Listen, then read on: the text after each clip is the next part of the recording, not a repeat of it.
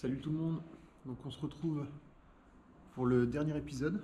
Donc là, on va voir les appuis de, porte-fenêtre et de porte d'entrée. Donc euh, hier j'ai oublié la GoPro, j'ai pas pu vous filmer. Je vais vous montrer le résultat.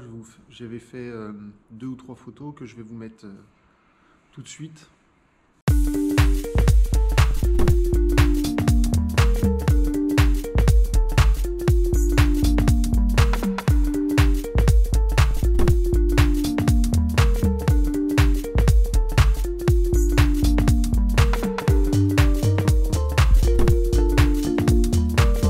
Trois appuis, donc je les ai faits au béton assez sec.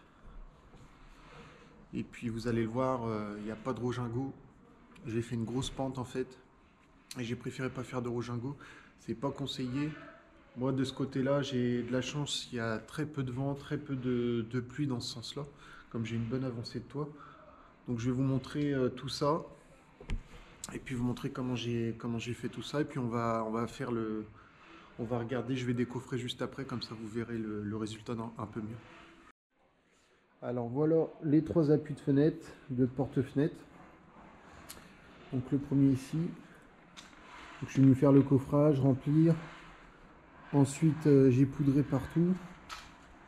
Et puis euh, j'ai laissé un peu agir et ensuite je suis venu le, le talocher, en le lisser. Là on le voit, il est en train de sécher tout doucement, il est encore assez foncé. Il va lui falloir plusieurs jours. Donc là, juste après, je vais vérifier bien mes hauteurs, que je sois bien comme il faut. Donc voilà, on voit qu'il y a déjà un chat qui est venu euh, mettre ses empreintes. Je dois l'avouer, c'est assez compliqué à faire. hein. Pour avoir quelque chose de parfaitement lisse, il faut vraiment avoir le coup de main. Moi, je sais qu'après, je vais pouvoir euh, peut-être trouver soit une solution pour le poncer légèrement, puis le peindre, ou je, verrai ce que je peux faire après pour euh, une fois que les fenêtres seront posées pour euh, améliorer la finition. Mais c'est quand même assez compliqué à faire. Je décoffre un coup tout ça, et puis on voir le, le résultat une fois décoffré.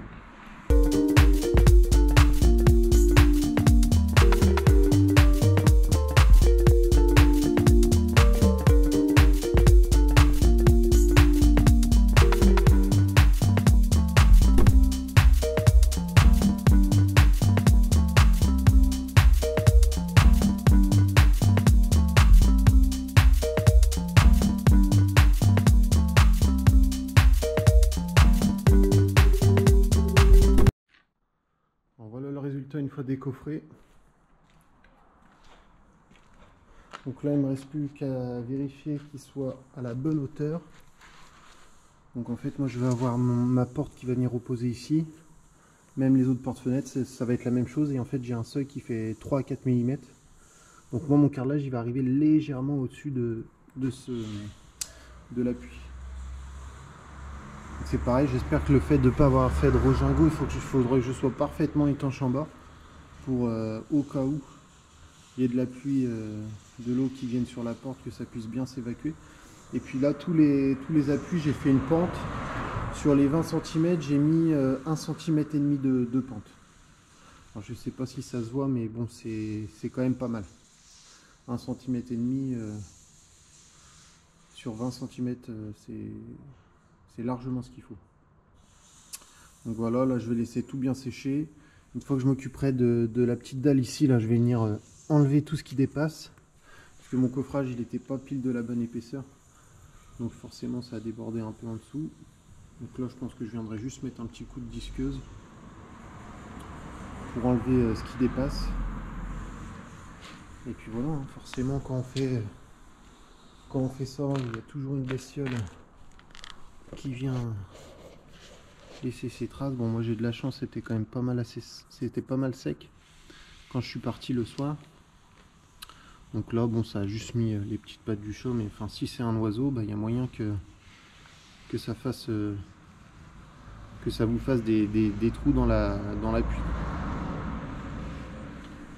Donc voilà, les trois sont faits. Moi, je vérifie mes cotes.